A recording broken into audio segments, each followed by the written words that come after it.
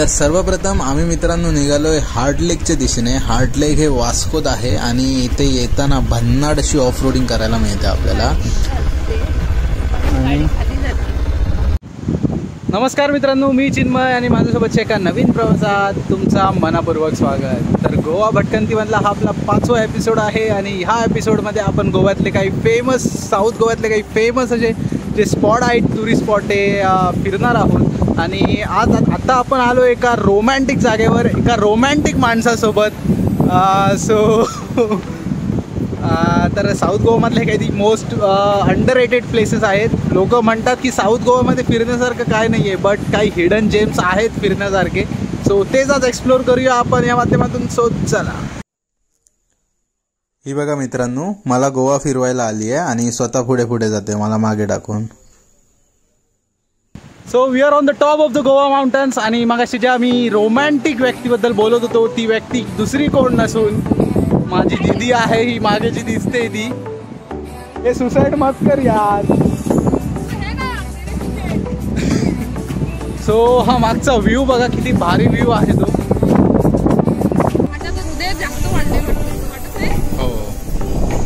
हा होता heart lake but unfortunately आपल्याला हार्ट काही दिसत नाही आहे सो असा होता तिथून असा आणि त्या साईडने असा. बट तिथे पाणी कमी असल्यामुळे ते प्रॉपर हार्ड वाटत नाही. बट जर वरून व्ह्यू घेतलात तर तो हार्ट शेप दिसतोय प्रॉपर बट आता वर जायला अलाउड नाही आहे प्रायव्हेट प्रॉपर्टी असल्यामुळे. सो आपण इथूनच हा व्ह्यू घेऊया. हार्ट यालाच हार्ट समजा.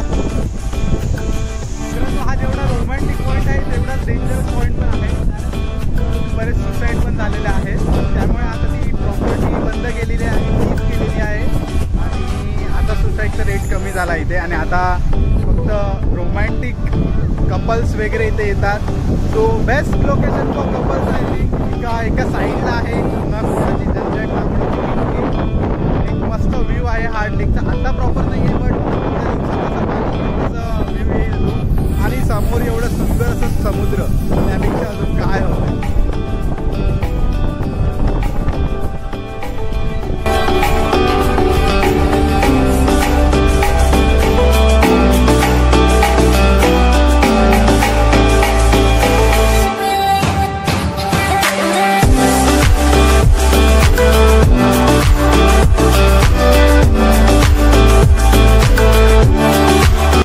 आपलं फर्स्ट लोकेशन झालं आहे जे होतं हार्ट लेक आता आपण चाललोय साऊथ गोवामधल्या एका सेकंड लोकेशनला जे आहे बायना बीच नाव थोडं वेगळं आहे बट तेवढाच वेगळा तो लोकेशन पण आहे. सो चला निघूया. तर तिथून बायना बीचवर निघताना आम्हाला सर्वात आधी गोवा इंटरनॅशनल एअरपोर्ट लागला. तर मित्रांनो हा आपला गोव्यातला इंटरनॅशनल एअरपोर्ट आहे. दाबोली एअरपोर्ट म्हणा किंवा वास्को एअरपोर्ट म्हणतात याला. तर हा सर्वात मोठा एअरपोर्ट आहे सिंधुदुर्ग आणि गोवा रहिवाशांसाठी. मोपा एअरपोर्ट पण झाला आहे बट मोपापेक्षाही मोठा आणि जुना हा दाबोली एअरपोर्ट आहे.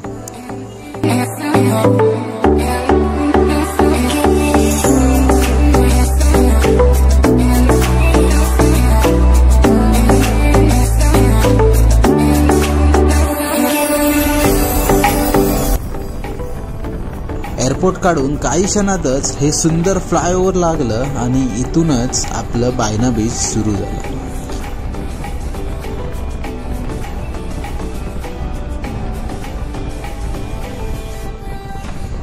तर किती भारी व्ह्यू आहे बघा असं वाटतंय जणू मी समुद्रावरच गाडी चालवतोय. ओ हो हो हो हो. हो एक नंबर. या साईडला कोकोनटच्या ट्रीज आणि इकडे समुद्र. असलं भारी फिलिंग आहे ना गायचं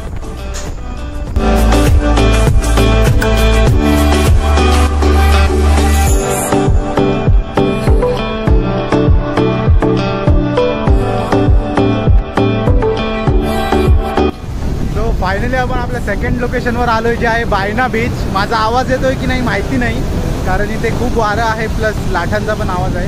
सो बायना बीचवर आलो आम्ही बट बायना बीच आधी खूप चांगलं होतं बट आता हे कन्स्ट्रक्शन वगैरे झालं आहे हे ब्रिज वगैरे झालं आहे सो व्ह्यू काही तेवढा चांगला नाही आहे बट जो व्ह्यू आपल्याला ब्रिजवरून मिळतोय तो खरंच सॅटिस्फाईंग आहे खरंच मेमोरेबल आहे. सो आता बायना बीचवर डेंजर आहे म्हणजे रेड अलर्ट दिलं आहे कारण पाण्याची पातळी खूप वाढली आहे. सो वॉर्निंग दिलेली आहे. म्हणून आता आपल्याला इथे कोण दिसत पण नाही आहे बघा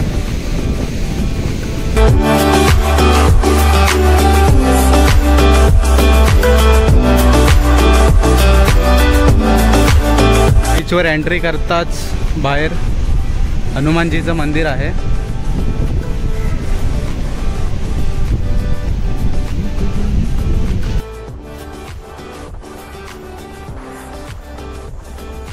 तर आता आम्ही निघालो जॅसिंटो आयलंडला जे होतं साखवा इथे. बायना बीचवरून जॅसिंटो आयलंड फक्त नऊ किलोमीटरच्या अंतरावर होतं. तर मित्रांनो गोवा राज्य आणि जॅसिंटो आयलंड हे एका ब्रिजच्या द्वारा जोडले गेलेलं आहे आणि हे तुम्ही मॅप्सवर पण बघू शकता. तुम्हाला क्लिअर कट दिसेल तिथे. सो हा एक वेगळा पॉईंट आहे जो आपण एक्सप्लोअर करणार आहोत. सो तुम्ही जर गोव्यात आलात ना तर नक्की इथे या कारण हा खूप भारी लोकेशन आहे. तर मित्रांनो हेच ते ब्रिज आहे ज्याच्याद्वारा जेसिंटो आयलंड आणि गोवा राज्य हे एकमेकांना जोडलं जातं. आणि जेसेंट आयलंड पूर्ण असं सेपरेट पडतो गोवा राज्यामधनं. तुम्ही जर मॅप बघाल ना तर तुम्हाला नक्की कळेल ते. सो आता आपण आलो आहे साऊथ गोवामधल्या आपल्या तिसऱ्या लोकेशनवर जे मोस्ट फेमस आहे. याला म्हणतात जेसिंटो आयलंड हे काय बोलते इसको? जेसिंटो आयलंड असं याचं नाव आहे. छान आहे जसं आपल्या सावंतवाडीत मोती तलाव आहे तसं हे आहे. एक समोर चर्च आहे आणि आपल्या मागे जो व्ह्यू आहे इट्स मोर सॅटिस्फाईंग काही चर्च आहे समोर. आणि हा इथला व्ह्यू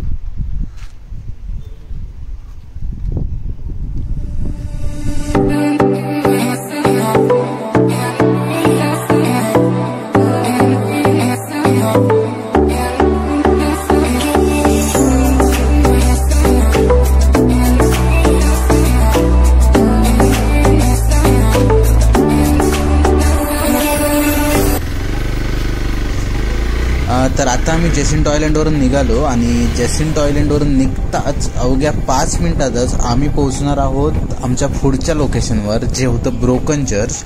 हे जेसिंटो आयलंडपासून खूप जवळ आहे एक दोन अडीच किलोमीटर आहे. सो मस्ट व्हिजिट प्लेस आहे साऊथ गो अरे हां ये दे की. चल ना.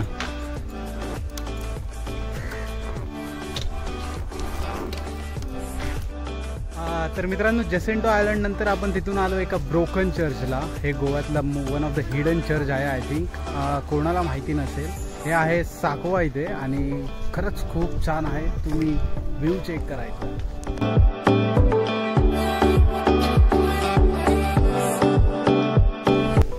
इथे. जर तुम्ही समोरून बघायला गेलात तर असं वाटतं की मागे चर्च आहे पण ॲक्च्युअलमध्ये चर्च नाही आहे फक्त आहे मागून दाखवतो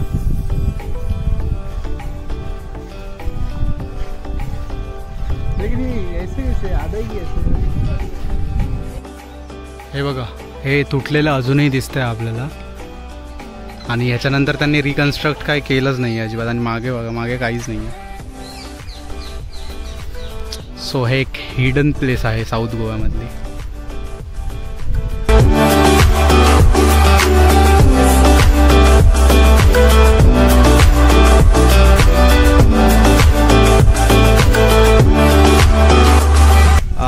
तर याची हिस्ट्री अशी आहे की सिक्स्टीन नॉट सिक्समध्ये हे बिल्ड केलं होतं आणि हे डिस्ट्रॉईड केलं पोर्तुगीजने in the fire in eighteen thirty four हे बघा एटीन थर्टी फोरमध्ये ह्याला डिस्ट्रॉय केलं.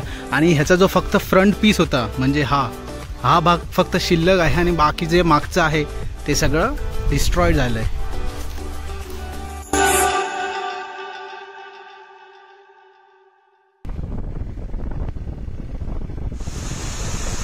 तर आता आमचं ब्रोकन चर्च बघून झालंय आणि आम्ही निघालोय the most haunted place in Goa बघण्यासाठी. ज्याचं नाव होतं the three king church South गोवामध्ये खूप फेमस आहे आणि जर तुम्ही सर्च केलात गुगलवर the most haunted place in Goa मग तुम्हाला हेच चर्च बघायला मिळेल.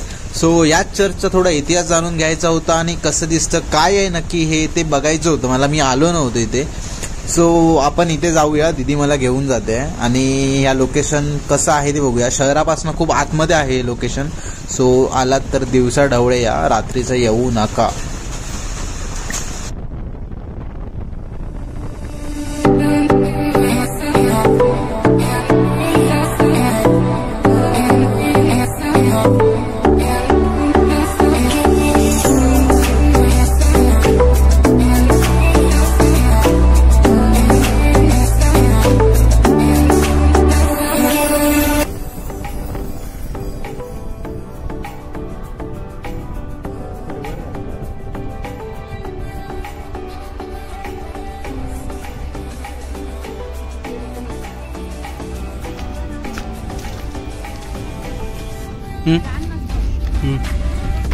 तर आपण आलो आहे आपल्या शेवटच्या लोकेशनवर आणि असे हे पायऱ्या चढून थोडं चालत जावं लागतं एक दोन मिनटं.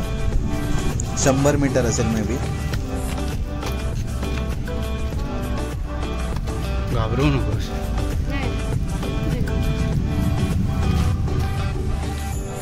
सो फायनली आपण आलोय गोव्याच्या हॉन्टेड प्लेसवर ज्याचं नाव आहे द थ्री किंग चर्च जानेवारी फेस्ट असतो बघ सकाळी सहा वाजता सहा पाच वाजता लोक येतात सो आपण एकदम टॉपला बघा. माझ्या मागे पण बघू शकतो. तिथून पूर्ण गोवा पूर्ण ग्रीनरी आणि कोकोनट्सने भरलेलं असं. आणि हे आहे साऊथ गोवामधलं मोस्ट हॉन्टेड प्लेस इथे रात्री नाही आणि खूप खूप रेस्ट्रिक्शन्स आहेत इथे कारण खूप इथे किस्से घडलेले आहेत.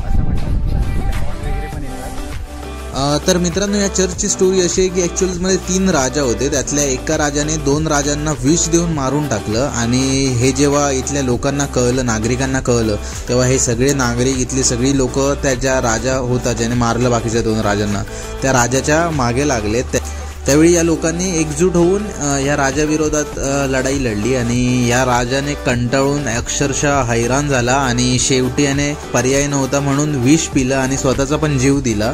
आणि म्हणूनच या चर्चला आज पण द थ्री किंग चर्च असं म्हटलं जातं. असं म्हटलं जातं की ह्या चर्चचा उपयोग काही मूवीजमध्ये पण झाला आहे. जसा आपला सगळ्यात फेमस मूवी धूम जी आपण फर्स्ट धूम आली होती रिलीज झाली होती त्याची शूटिंग पण इथेच झाली आहे.